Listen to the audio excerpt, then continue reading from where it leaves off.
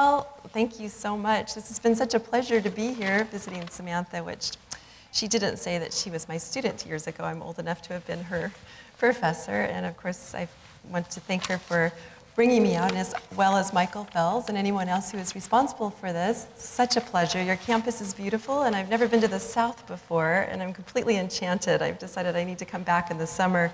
Um, it's really, it was just beautiful flying in, you know, and seeing the land and the kind of the tributaries and all of that. I've been pleasantly surprised and really moved by the landscape.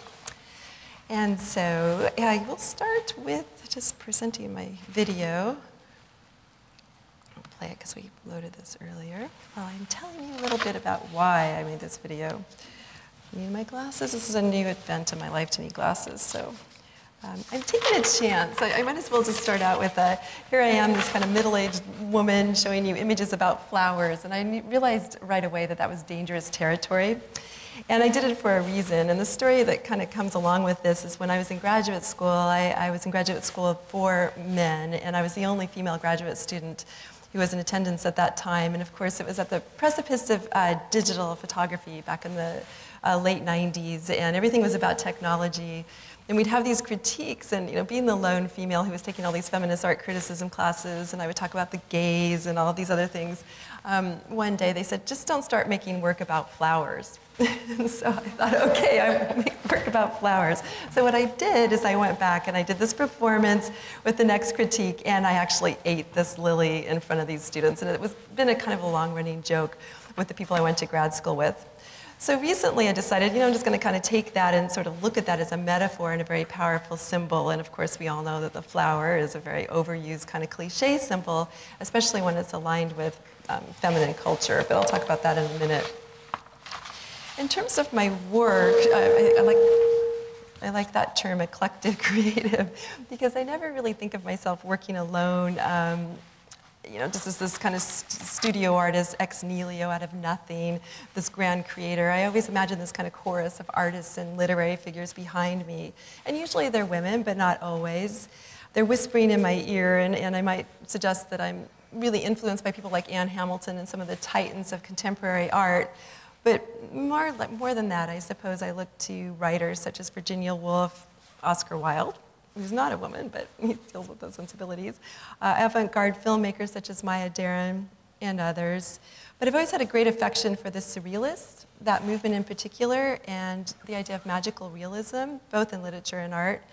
And as Samantha mentioned, one of my undergrad degrees is in art history with an emphasis in Italian Renaissance. So I think I have this um, I also have an affection for that idea of order that you might see in a Renaissance painting, that very structured sort of way that things are ordered in that, within that frame, and the controlled disorder of the Baroque. I've been fortunate enough to have spent some time in Italy teaching a class years ago in Siena, so I would just be immersed in all of that kind of Renaissance art that I studied in school. And I do think that it's an underlying uh, sort of um, inspiration to my work. I'll play it again here. Don't usually do this, but so you can see this kind of monstrous mouth. I might begin by speaking to the title that I've given this work, Write, Writhe. I know it's a bit of word play, and, and I'm not somebody who's very fond of puns, but this particular wordplay I found very interesting in the sense that uh, it's more in line with the idea of post-structuralist intertextuality, which um, that idea of the negotiation of the intersection and indefinitely expandable webs of text referring to other texts and I might repeat that, but it's um, that idea of post-structural intertextuality, the negotiation of that intersecting and indefinitely expandable web of texts referring to other texts. I find that so interesting because it's the world we live in, and it's really probably what motivates my work, is that you know, you'll find something out there where it's a, a, passage from Virginia Woolf, The Waves, and then you'll pull it over here and I'll realize how this relates to this passage in Oscar Wilde and this particular image I found from um, uh, Burne Jones from the pre-Raphaelites and bringing all of those things together and trying to give them a new context is something that I'm interested in in terms of my own work. So I wouldn't, again, call myself somebody who's always very invested in craft or working in the studio, but instead just bringing kind of all these disparate pieces together and creating a pastiche, very postmodern word. So I'll read a little bit so I don't kind of digress, which I'm always about always doing when I start talking. Um, So I tend to work in a way where I engage in seeking these traces from culture and the natural world set about creating an atlas or a compendium of my ideas, bringing materials together to create a new narrative um, that differs from the one of the individual parts. And I suppose artists always do this, but I think I'm very deliberate in that approach. It might be said that I'm engaged in good old-fashioned Derridean deconstruction, having to do with the philosopher uh, Jacques Derrida, who of course coined the phrase in the postmodern era. When you're, you know, I'm set on dismantling a particular way of seeing an object or image, of examining things or unraveling the effects of a wider and deeper history of language, the unconscious, of social institutions, and expected readings of those things. And I do this under a template of what might be called feminist considerations. I know that's a really tricky term these days. You know, I, I, I, teach it in my classes, and everybody says, I don't want to be called a feminist. And I understand why that's kind of uneasy ground. But nevertheless, my work has to do a lot with what's considered the stereotypical feminine in culture, whatever that means. And again, it's a cultural construct Time is a cultural construct. Of course, we know that gender is as well. So those icons of femininity, those heavily loaded symbols such as the flower, the ballerina, the butterfly, you know, those kind of things that are considered flowery, which is a dismissive term. And so I started pulling those symbols and sort of reenacting them to see where they kind of end up. And I realize that the word is not easily digested, as I just said, so let me rephrase that. I say I'm always speaking to the history of women and the cultural emblems of what considered feminine as a site. So I can go on now to my other slide. So I pulled this up because I found it's kind of a funny little slide, but it was, um, honestly, it's just a page in my notebook from years ago. And you know how you're jotting things down, and I always really uh, reinforce the idea that my students always have to keep a resource journal where you're, you know, writing down every quote that you come up with or, or you find or appropriate from culture. Because those things that later really are important to your practice is that you have these resource journals and you can go back to them and sometimes they inform your work in ways that you didn't expect.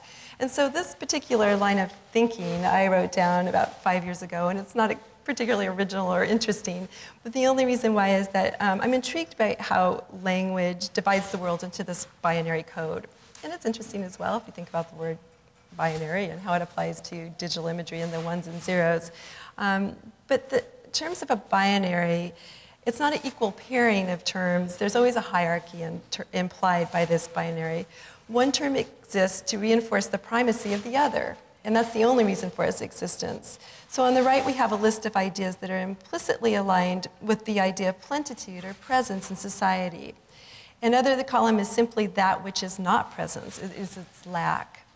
So you'll see here, you know, you can have it as like you've got form over matter, mind over body, culture over nature, self over other, stasis over fluidity, male over female, logos, which is the word, you know, the idea of reason and all of that, um, over delirium, light over shadow, write over writhe, which is where I came up with this title.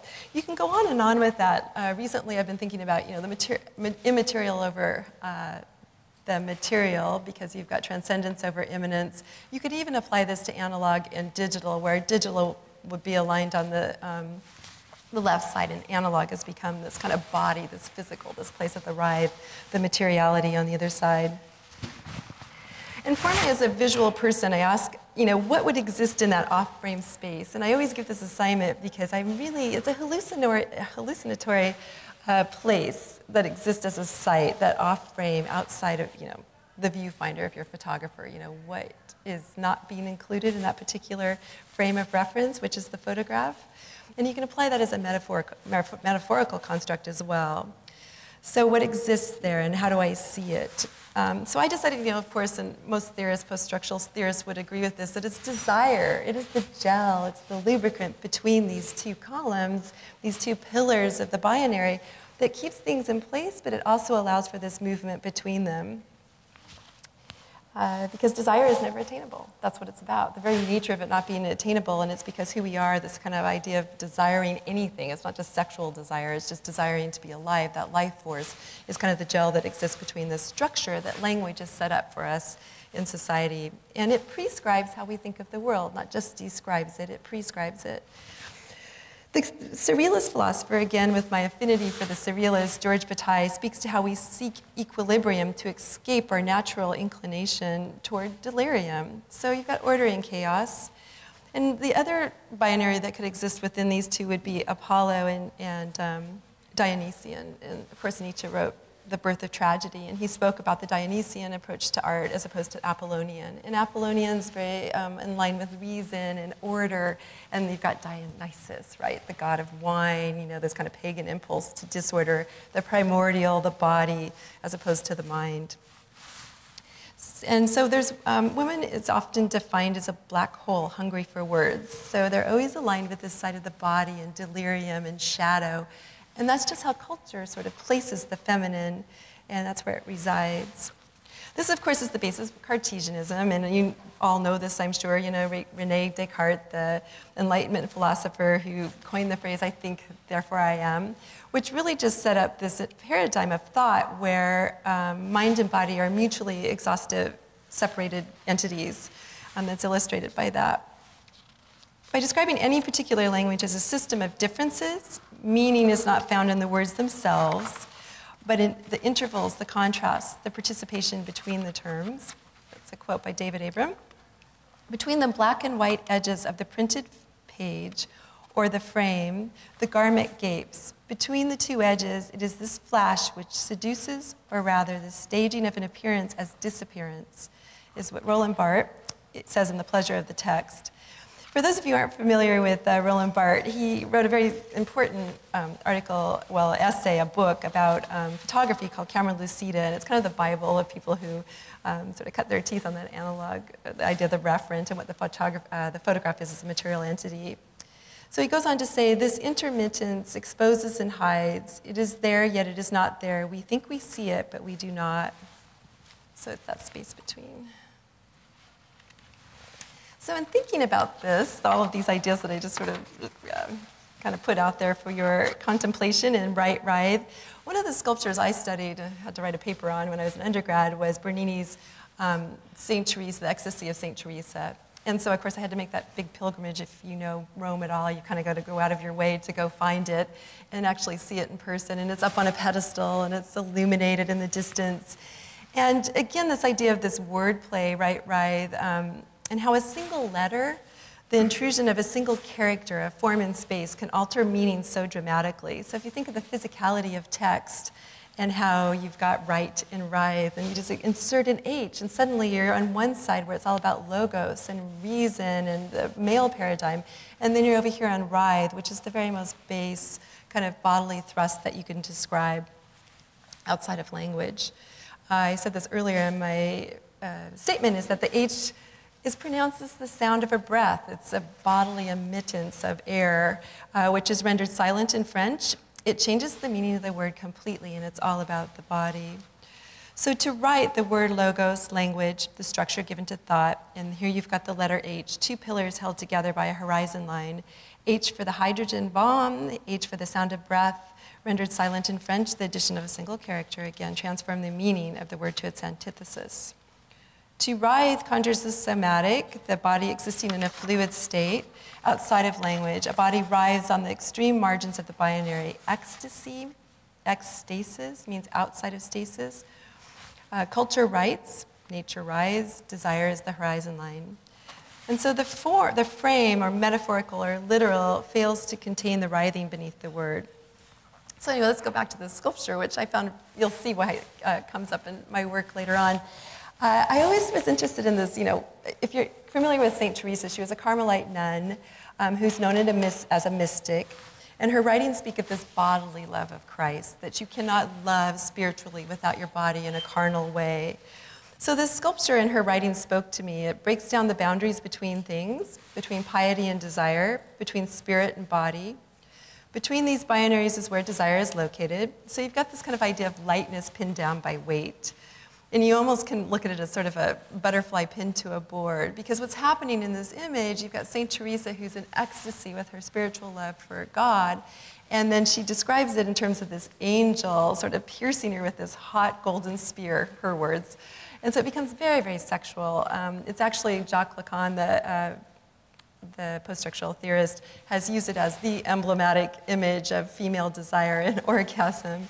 So it's become this other thing than when it was originally thought to be. It was all about this kind of spiritual uplifting, and now it's become very much about the carnal.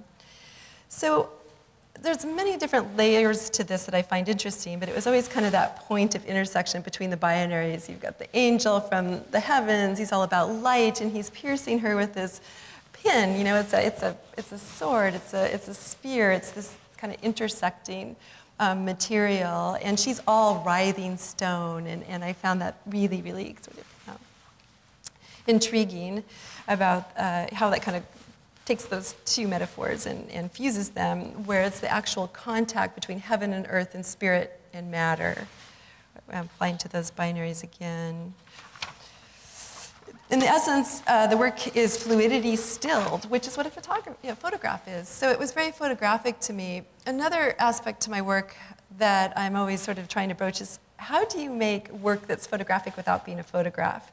Uh, sometimes, you know, like, is there a sculptural artifact that is photographic in its discourse, but it's not actually an image on the wall? And I find that really intriguing because there's so much about it, you know, the fluidity and stasis, that containment of time, and all of those other ideas that come along with photographic discourse, where it doesn't have to be manifested in an image on the wall as a photograph, it could be something else. And I found this speaking to all those ideas that come up in photography in that same place. What you say? I'm going through. Let's see. All right, the next one that comes up because it was Bernini was Apollo and Daphne.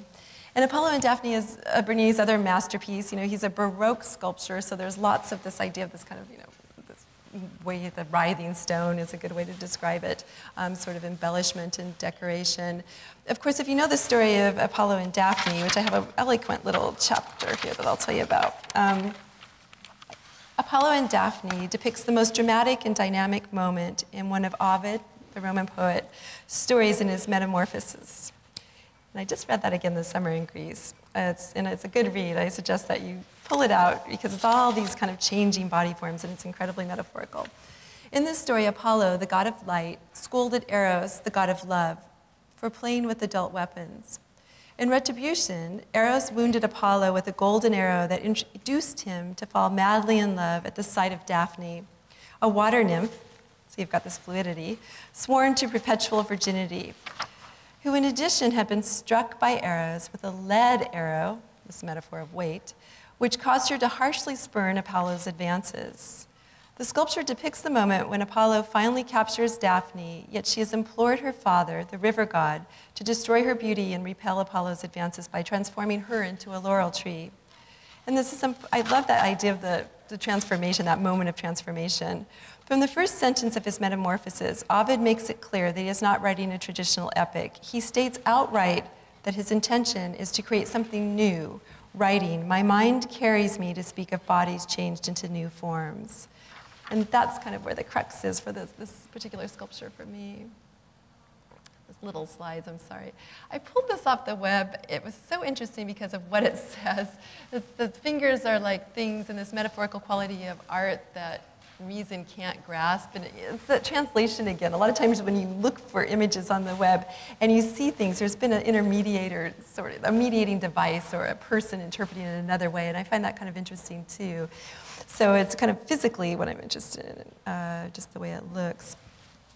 This is Tiepolo. It's a close-up of the painting. So there's been many, many manifestations of that kind of moment when she's transforming into something else that kind of idea of flux again. I am so sorry. I found this and I had her name scrawled down. She's a New Mexico metal artist, and I thought this was just phenomenal as an interpretation of Apollo and Daphne as a jeweler and a metal person. But I will find her name. I had it written on my notes and I couldn't find it on the way over here, so that's not good.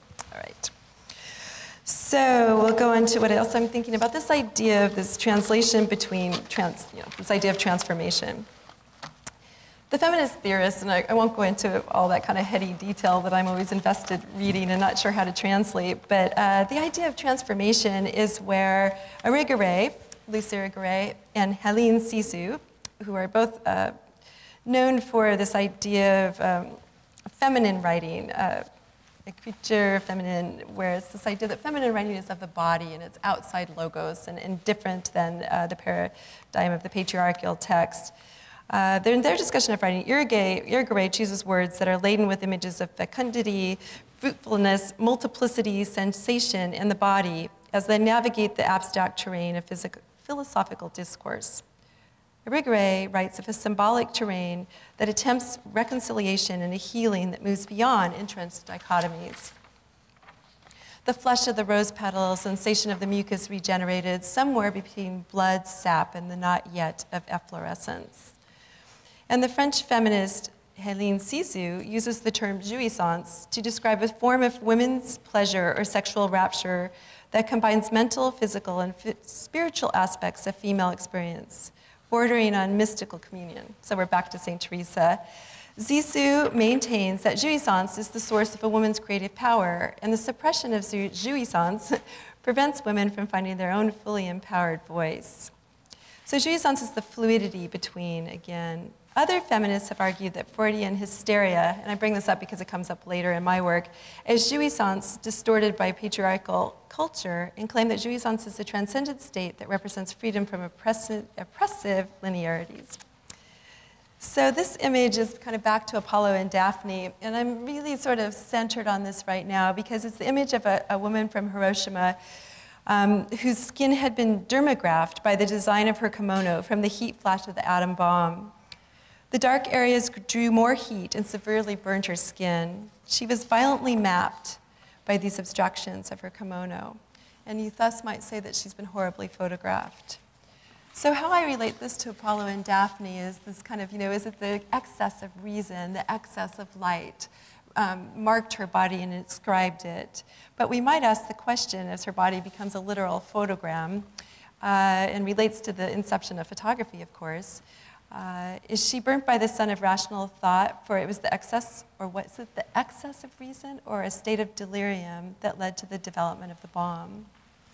And I, I must admit that I don't think I'm a particularly dark person, but I'm drawn to that roar beneath the stones, you know, that beauty beauty often has kind of a terrible underbelly, and that really is the definition of the sublime, right? You know, that idea of beauty is one thing, but when something's sublime, it takes you to a place of terror and something that you can't quite recognize. And so you've got this idea of femininity, you know, the kimono, but it's been horribly sort of transformed. This artist, I hope I don't massacre her name, Ishi, Ishiuchi uh, Miyako. She's a Japanese artist, and I was going to ask somebody to help me Ishichu, Ishichu, Maya Miyako. Uh, it sounds, doesn't sound quite right, but chromogenic print of an A-bombed dress from Hiroshima, The Strings of Time, 2008.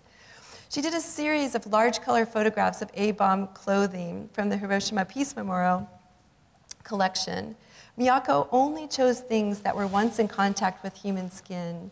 She photographs these ghostly things on a light table to illuminate the fabric stains and ruptures holes and sutures. It is disturbing and oddly fulfilling to find so much beauty in the rendering of horror with spectacular aesthetics. Again, that idea of the sublime. Miyako writes The objects that remained in the city after being subjected to a military and scientific experiment do not speak, they merely exist. But despite the horrors of the details, I found myself overwhelmed by the bright colors and textures of these high quality clothes. It is difficult for a human being to survive for even 100 years. But these objects have been bestowed with a longer existence. As parts of the largest scar the world has known, they will outlive us all and never grow old. And I'm really sorry I massacred her name because she's a well-known Japanese photographer. Uh, the illusion, this allusion to the photograph as trace is another aspect of photography I'm very interested in. Uh, you know, it's this idea of the imprint, the death mask, all of those things that are applied to photographic discourse, a la Susan Sontag and Roland Barthes. It's this story is po poetically linked to the Western culture, to the legend of the Corinthian woman who traced the figure of her lover on a wall before he departed for war.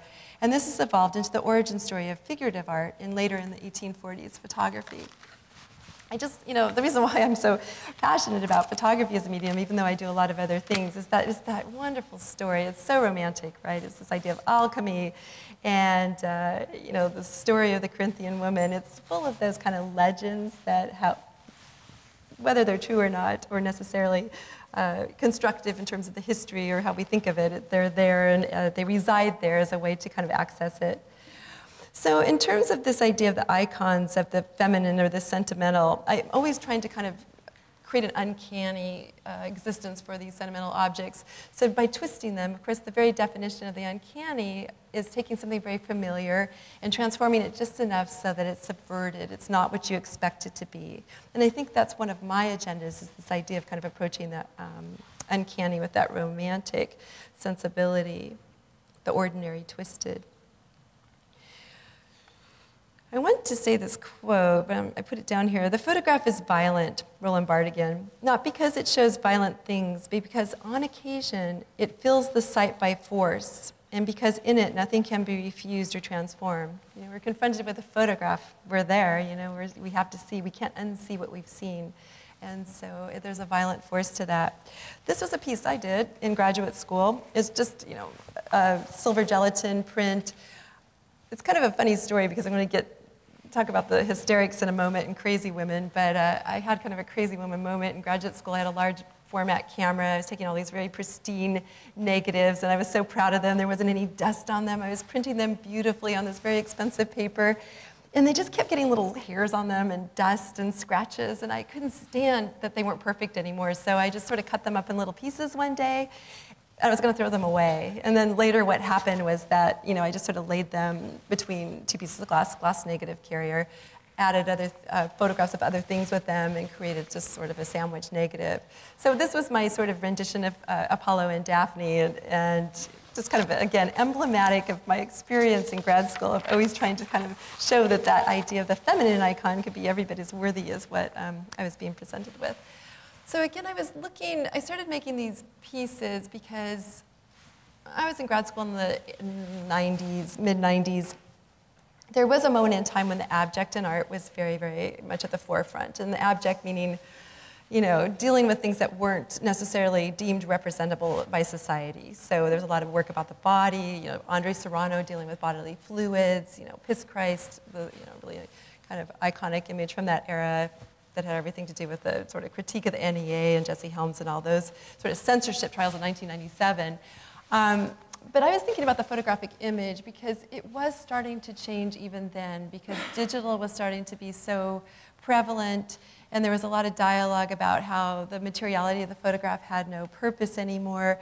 So I did create these kind of photo sculptures where I had these four by five silver negatives and I had cut them up and beeswax was a material that everybody was using too, a lot of encaustic painting.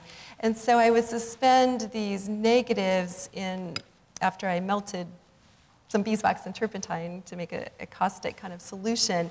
And then I would watch them sort of flow, and wherever they sort of stopped would be my kind of idea of a photograph. So it was taking a photograph and reinterpreting it into another way that had to do with fluidity and stasis. So the, the act of the wax in the template that I had created, and when it finally kind of distilled, and those elements in place within that frame I created, the actual physical frame, was almost kind of a re-photographing, the act of re-photographing in a different way. So this was part of my grad school work. I was also very interested in alchemy in a very primal way, like the idea of salt. So I kept thinking, like, what can I do with salt? And my professor, um, Paul Berger um, said, well, if you're really interested in this disintegration and this idea of fusing together kind of a religiosity or a spiritual sensibility with uh, science, then maybe you need to kind of attach a true kind of false scientific rigor to your practice. It, and I thought, what did he mean by that? And so I had these four by five negatives, you know, being that kind of traditional photographer where everything was very careful, and I had done a series of self-portraits which isn't very comfortable for me. I never like to be in a photograph. And I exposed them to a saline solution for a week. And what was interesting, I thought it was kind of a stupid thing, is kind of the stuff you do in grad school. You thought, okay, I'm going to try this. He told me to apply false scientific rigor. Let's see where it goes. But the interesting about it was that every, because I have blonde hair and I'm sort of light skinned and my eyes are light, the only thing that was left after a week was my mouth on the negative because my lips are darker than the rest of me. So it became interesting in a metaphorical way was that all that was left was my voice or my mouth. And so that became my work um, for my grad um, school, my MFA show. What's that called? And uh, so I also, in the wax, I might mention, I haven't looked at this work for a while, is that I, there are bits of salt and they would crystallize. And with that, I was referring to some of the earliest photograms when they would kind of adopt this which they thought was serious scientific rigor, to these photograms where they would crystallize salt on a glass plate and then do a, um, did you laugh at that? They thought was, that was good, I know. And they would sort of uh, crystallize salt on a plate and do photograms. I'm interested in the photogram process. I'm kind of subjecting my students to that this term as we speak. That's what they're working on. And they all want to make scanograms and I'm not letting them, so we'll see what happens. Um, just another piece. You know, things fall, there's an ear in there. It's really, again, sort of my interpretation of that falling apart, the Ovid transformation of bodies, little bits of flora and fauna, and negative parts of bodies. This was my water book. You got to remember back in the 90s, Peter Greenaway, the filmmaker, if anybody knows who he is, was very, very popular, kind of overwrought, dramatic, you know, uh, films. And I was so influenced by Peter Greenaway. And so I made this series of water books, kind of based on his work. And so they were long pieces. I mean, they were about, oh God, the one piece I did was about 12 feet long and just had a lot of, it was kind of a collage piece pressed between glass. There was negatives and these kind of four by five uh, small little contact prints that were subjected to the wax treatment again and pieces of books. And I actually destroyed these pieces and I'm kind of sorry. I do that a lot. I make work and then I mess with it. I destroy it and try to make it into something else, which is that entirely uninteresting. So again, this was just the mouth and how things sort of ended up residing within the wax templates that I created for them. I did a piece because I was always kind of defying the preciousness of art, and I think I still tend to do that. Uh, I did a piece of these body parts that were supposed to mimic kind of relics and there was this Catholic sensibility that went along with much work that was done at that particular period of time. Andre Serrano again, Annette Messager, Christian Boltanski, those people that I were looking at. And I put them up in an installation, uh, kind of like Milagros, and I invited them to be taken by various people, and I only have one left, so that's it. I just put this in because it showed up in my collection of just photographs when I started taking digital images. And I always tell my students that you can never get away from yourself. There's a certain sort of design sensibility or subject matter that you're always seeking. And I just took this photograph of an orchid, but it really looks like all my other work. You know, it's so present, my uh, particular way of looking at things. So I was going to say a little bit about Maya Deren, just a little bit. Uh, she is an experimental avant-garde filmmaker, considered a surrealist. The film that I'm most familiar with is called Meshes of the Afternoon. I actually just checked it out because I thought Meshes of the Afternoon, I mean, what a title. It's so beautiful. It had to be the most beautiful movie I would ever see. It's kind of hard to get through. I want to love it because I love everything she's about, but yeah, if you've seen it, it's kind of like, okay, I, do I really love this movie? But what I'm interested in is her, her relationship with this flower. And again, this idea of the flower metaphor and how women are traditionally uh, always aligned with the flower. And if you look at literature, there's so much that can be said. Uh, you know, Virginia Woolf is a writer that I'm very interested in. You know, she uses the flower metaphor repeatedly in the waves, and of course, Mrs. Dalloway gets the flowers, and Oscar Wilde then sort of co-opts that idea. And if you ever read Oscar Wilde, I mean, flowers, the picture of Dorian Gray, everything's compared to lilies. And Salome, the play, it is so beautiful because it's a mantra about beauty and sexuality and flowers. So I'm curious about this sort of, I'm just looking at these images. You know, she's seeking this flower. Um, you know, the flower metaphor, the blue flower was the idea of romanticism, people seeking the blue flower. It was used as a term for the romantic with a capital R. So I started just seeking out these images in culture of, in film. This is kind of grainy, but it's a film still. If anybody's ever seen Daisies, it's on Netflix. And it's another one that's hard to get through. It's uh, a Czechoslovakian film that was made at the height of the Velvet Revolution when the Soviets marched into Prague. And it's these two women, they're called daisies, and they're involved in this madcap adventure. Um, and they're always kind of dressed in these floral costumes. And they eat all these cakes and they mess with older men. And if you read the, um, anything about it, any of the discourse that goes along with this film, you know, they are everything that was suspect politically. And so the females kind of represented this place of the delirium of what Europe was and what the Soviets were trying to control. It's another hard one to get through, but I'm telling you, some of the imagery is to die for. You should just watch it to kind of glean out these particular little things. And this is, this is the subtitle. Like, we've gone bad, haven't we? But they keep doing bad things over and over again. And so, again, that idea of the feminine aligned with this kind of sense of delirium and hysteria. This is Kristamas Klousch, and she's just kind of a cult figure on the web right now. Most of my, a lot of my students just sort of introduced her to me. She, I think she thinks of herself more as a fashion phot photographer, but I find it fairly interesting in this kind of floral motif and what she's doing, and just people that I've been looking at. This just showed up. Let's go through a few. I feel like doing a huge atlas of this. Also, this idea of uh, the feminine being aligned with flowers is a way to oppress women. There's a lot of um, writings about Victorian society and how women were thought of as flowers because they're supposed to be delicate and ornamental and something that could be cultivated.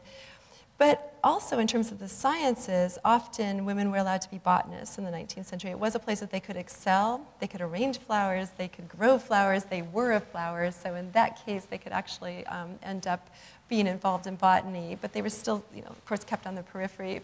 Hannah Höch is this, another surrealist Dada artist who did a lot of photo montages, the famous body of work called Cut with the Kitchen Knife.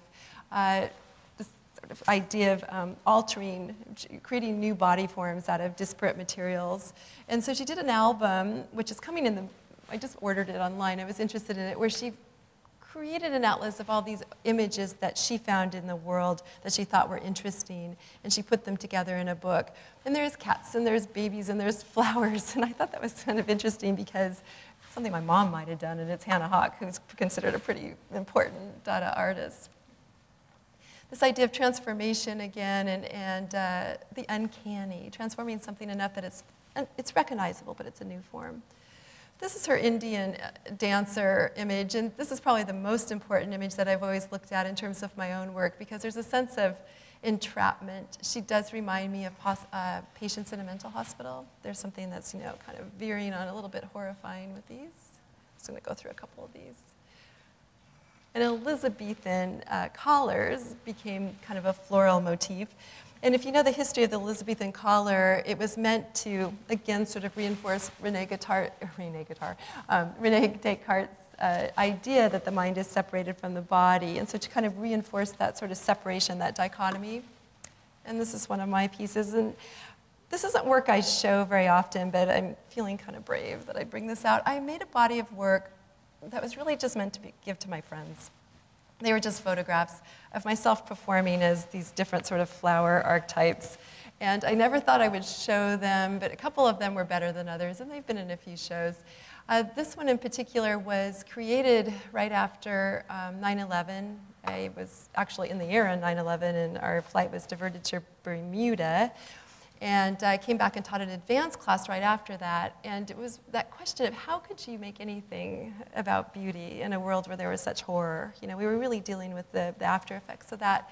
And so what we decided to do was create a um, portfolio together, a group portfolio that we would donate to the HIV Alliance and then they would sell it. And they sold it for $350. We just felt like if we were going to make art, it had to be for something that was outside of ourselves. And we all did a self-portrait, some guys have a self-portrait, and this was my manifestation of that. If you know anything about photography, though, before digital, I had a, there was actually a bench behind there. I'm sitting on a bench. So I burned in 24 of those prints, which isn't always that easy to get rid of that, that bench. But they were built, you know, kind of based on this idea of you know, different archetypes, Demeter, you know, the wheat woman. Uh, this was just, you know, this idea, this flower. And I bring this in because I'm thinking about doing something kind of performative, and this is coming to play. They became a little bit more horrific because, again, I, Victorian sensibility, the mask and the kind of shrouded sort of sensibility of her being in this gothic space. You know, I probably do have a little bit of a gothic thing going on. But I wanted them to be, you know, taking that flower metaphor and to have some sort of pathos of that kind of a hopelessness, but yet beauty. And I actually just glued a bunch of lilies on my face and stuck one in my mouth and said, take the picture to my husband. he did, so they're uh, large format, uh, two and a quarter, uh, rather two and a quarter negatives. So this kind of goes into some other work that I did. Apollo and Daphne again. This is a representation of how the, the hysterics, the turn of the century, there was a, um, an interest in chronicling the behavior and the, the gestures of the, what was called the, the hysterics. Uh, the most famous hospital being Salpêtrière in France and Paris. Dr. Charcot is the famous doctor who invented it. Um, these women were uh, photographed in various guises of Baroque and Modernist painting, and there was the theater of hysteria. So the women would be asked to perform for these male doctors, these different maladies, which would be hysteria or melancholia, um, nymphomania, that kind of thing. And they called them the attitude passionnels, the passionate attitudes. And of course, they direct, they're directly related to, I think, Bernini's sculpture of St. Teresa in Ecstasy. There's even the same sort of sensibility. But these kind of writhing bodies, these contortions that the female body would do, kind of wrapped in these white gowns, was somehow very interesting to me. And I um, started imagining them as being these giant caterpillars or something in those contortions, looking up to the heavens, like St. Teresa. So, really, what occurred in the 19th century is that that kind of mysticism that existed in, in terms of what, how St. Teresa was defined became the body of the hysteric. What? What?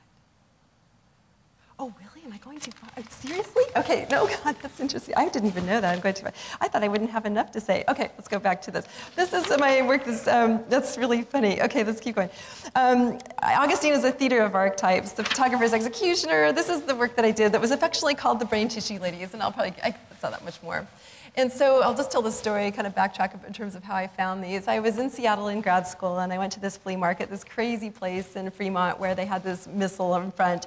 And there was this kind of dusty boxes that you could rifle through. And in the back was a box that was labeled uh, clean electrodes, brain tissue samples from Bellevue Hospital in 1935.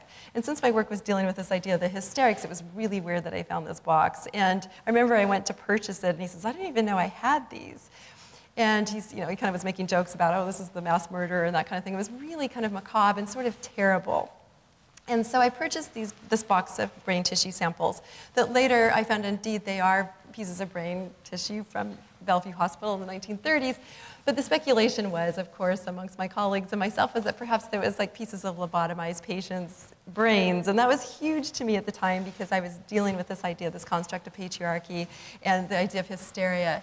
So what I did with them in graduate school, I ended up projecting them really large, and that was a whole different piece that I won't talk about, obviously, because I don't have time. But um, I ended up kind of having a Dada moment where I cut them up and I created these little hats, and I placed them over carte de visites, which are a photographic calling card, which are incredibly sentimental and they're a different kind of way of approaching photography. And I created these little characters. The watched glass is there to sort of emulate the idea of a lens. So they teeter on the threshold between science and sentiment. They're very absurd, they're very tragic, but they also sort of uh, speak to the idea that neither one of these uh, processes of empiricism can really speak to the mutability of a human life. So it's that space between again. And so there were several, there were 12. They were painted uh, white lacquer boards, 12 by 12 and they were only women and children because in society, women and children are considered the most mutable human beings, most malleable. And so there were no men. Some of them were crowns. I'll go through them really quickly. And this is the work I've had the most success with. I don't know if it's just kind of the, the shock factor or what. But they, um, and then there was a series having to do with this demented ballerina, so I can't even talk about this very well now. But again, a female uh, icon, and she was sort of broken, and it, her title was La La, which had to do, of course, with uh, law being the feminine in French, and also um, the idea of la la la, you're kind of crazy or you're silly. So the, there was a little voice recorder inside of them that said la la la, and they could repeatedly hit their head. And everybody's looking at me going, oh my God, you guys are, she's a really crazy person. But and then I took a video of it, having to do with crazy women. And these are the photographs. And then these pieces are in the show. Again, just the writhing body in white silk that kind of mimics the rest of what I'm talking about. And I meant this work to be somewhat uncanny in the sense that, you know, as a hospital gown, there's always a seam showing. They're kind of awkward. Are they sexual or are they sort of sad? Um, they were meant to be just sort of oblique that way in terms of you know, there's a snap, it's kind of open in the middle. I'm kind of, again, always kind of accessing that. Uh, and I won't even talk about the moths because that's another part. But that's in the, in the show. I'm so sorry I took so long. And if you go to my show, there's the um, flower eating video and these are some of the stills. I took the stills to sort of extract from the video itself and to kind of make the point of the, again, that sort of inability to extract that experience through this, through stasis. And I just will read you one quote that goes, that kind of finishes everything, I think, um, in an interesting way. It's Antonin Artaud, who is a surrealist writer uh, who am I? Where do I come from? I am Antonin Artaud, and if I say it as I know how to say it, immediately you will see my present body fly into pieces, and under 10,000 notorious aspects, a new body will be assembled in which you will never again be able to forget me. Thank you.